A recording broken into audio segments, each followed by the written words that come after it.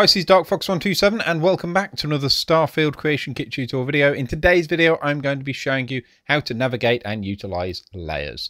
Let's dive into it. So before we jump in, what are layers? Well, layers are something that were introduced back in the Fallout 4 creation kit and have also made their way to the Starfield creation kit. They have a few more advancements over their Fallout 4 counterpart, and essentially they allow you to group a collection of references in the render window into their own groupings so that you can do things like show and hide collection of objects, you can freeze them in place so you can't accidentally delete things, uh, you can do things like highlight a collection of objects very easily in a group so you can see different things that you're manipulating. And it just makes the whole world design process far, far easier to deal with. So let's jump in and see how they work. For the purpose of this video, I've gone ahead and loaded the GalBank in Akila City. And as you can see, working with this cell would be absolutely manic because of the amount of items that we've got in there, the markers, the triggers. We could hide some of this stuff. We could hide and show markers. Uh, but it's just still going to make it really difficult to edit different areas of this cell without moving the wrong thing, deleting the wrong thing, and, and also if you wanted to, to overlap things. So let's say that you wanted a particular room to be one of two rooms, it was a player home that you could swap out, and you wanted it to be either a kitchen or a bathroom. How are you going to design both those rooms in the same room without having items overlap and cause absolute havoc? Well, that's where layers come in. So on the left hand side here, if we just zoom in, you can see that we have a layers window. If you don't see this, you can click on view and then layers and that will allow you to bring this window up. And from here, this allows you to group objects, as I said at the start of the video, so that we can start pairing things together. You can hide and show them, uh, you can freeze them so they can't be touched and edited or accidentally deleted, and you can choose what the active layer is, uh, you can do a number of different things here and even set a, a highlighting color, which I'll, I'll show you in detail in a moment.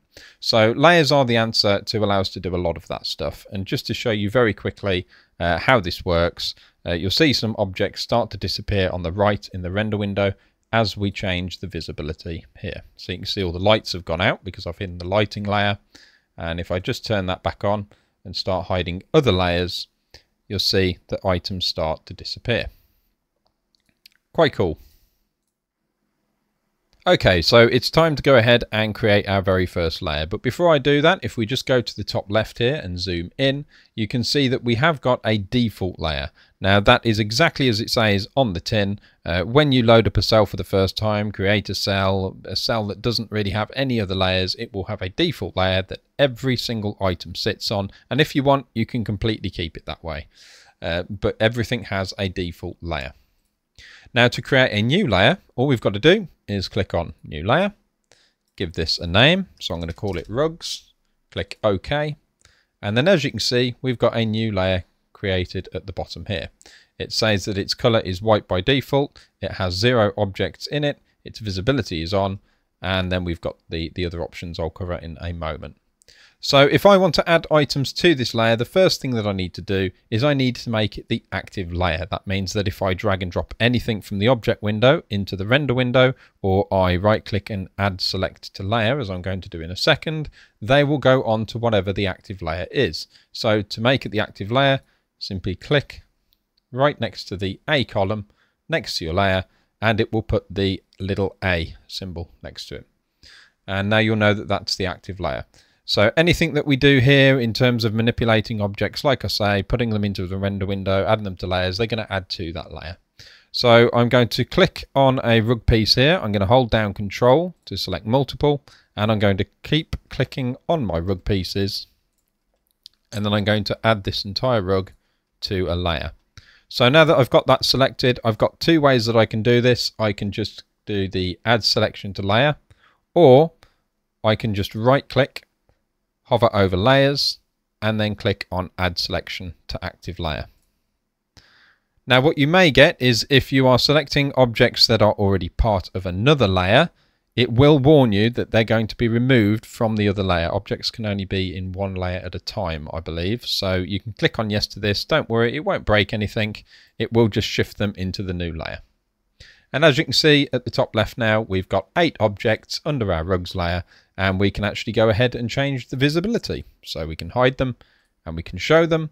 And another thing you can do is do what is called freezing a layer. So if I click under that column for F, it shows a little F symbol again.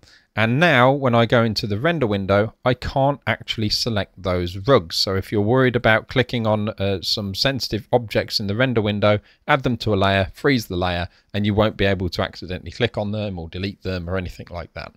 Very, very useful feature freezing layers. So I'm just going to unfreeze that for now. Uh, LOD, I'm not covering that in this video, uh, but another useful option that we've got here is the C column, which is for color. Now, if you just click on there, you'll get this nice little color wheel.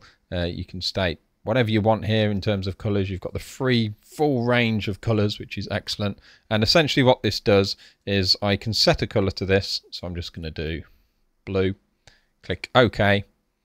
And now if I was to click on overlay color, and move this slider, you'll see that everything in the object window starts to get painted the designated color, which will allow you to easily recognize different objects and what layer they are sitting under, which is really useful.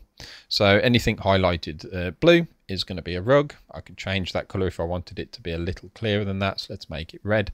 You'll see that uh, these will highlight red. And I could even do things like change the interior clutter to let's maybe say pink.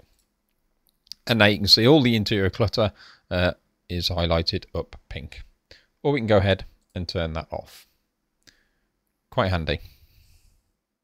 A few final minor mentions for layers as well is that you can click on the filter option here and you can actually do a search, hit enter, and it will just show you specific layers. When you start working with things like massive world spaces or just generally large or complex interiors, you're going to get quite the list of layers and it's going to become quite difficult to see them. So that filter is going to be really useful. You can just clear that and hit enter if you then want to see all of your layers again. And you can also do an expand all and a collapse all. Now when I expand all, you'll actually see what you can do is get layers within layers. And the way that you do this is you can right click on a layer and you've got an awful lot of control over here in terms of doing a number of batch actions. And you've got set parent layer and create child layer. So you can have the, the parent layer and then anything nestled under it can be a child layer. And you'll click those options and essentially uh, you'll get this box show up. You can filter down to the, the layers for your specific cell, search for them, click on them, and then you can start to, to really customize this. So like I say, you get layers in layers. So under lighting, you might want to have different types of lighting, like floor lighting or wall lighting or ceiling lighting. And there could be a layer for each of those under lighting. And then you can get really, really wild with the way that you control your layers here.